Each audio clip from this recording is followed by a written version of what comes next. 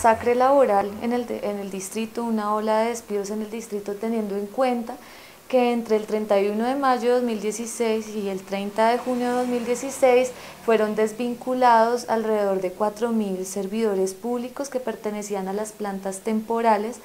eh, de diversas entidades del Distrito Capital.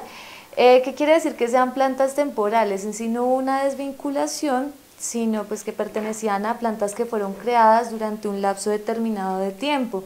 En teoría estaban establecidas para un lapso determinado de tiempo porque eh, se supone que tendrían que estar cubriendo labores del plan de desarrollo pues, de la Bogotá humana. Pero ¿qué ha pasado en realidad y qué ocurre en realidad? Que son personas que están ejerciendo labores misionales en las entidades del distrito.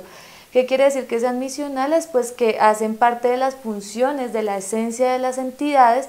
y eh, en ese sentido pues sus funciones son permanentes, se requieren todo el tiempo y no tendrían que estar ligadas a un término determinado. Es decir, que las labores que estaban desarrollando estas 4.000 personas van a seguirse necesitando eh, para el buen funcionamiento del distrito capital y en ese sentido pues debería haberse prorrogado la planta temporal mientras que pues se habría, digamos que a través de concursos se habría un espacio para que estas personas fueran vinculadas en debida forma a través de carrera administrativa para que pudieran tener pues una vinculación permanente al distrito.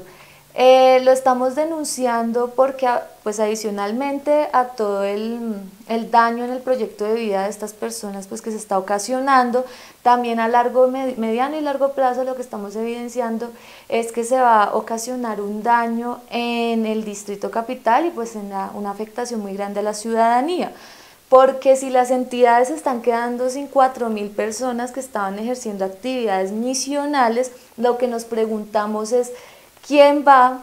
a seguir eh, ejerciendo estas funciones? Ah, hasta el momento no ha habido una respuesta, lo que se tiene claro es que en muchas entidades, en la Secretaría de Cultura, en el IPES, en la Secretaría General de la Alcaldía ya se están empezando a vincular contratistas, personas vinculadas a través de contratos de prestación de servicios para que continúen ejerciendo las labores eh, que realizaban las personas vinculadas en las plantas temporales. Es decir, que eh, las labores pues se ratifica que eran permanentes, misionales y en vez de abrir una gran convocatoria para eh, seguir prestando esos servicios con personas vinculadas formalmente con todas las garantías laborales, lo que se está haciendo es que se está cambiando a las personas que están vinculadas por planta temporal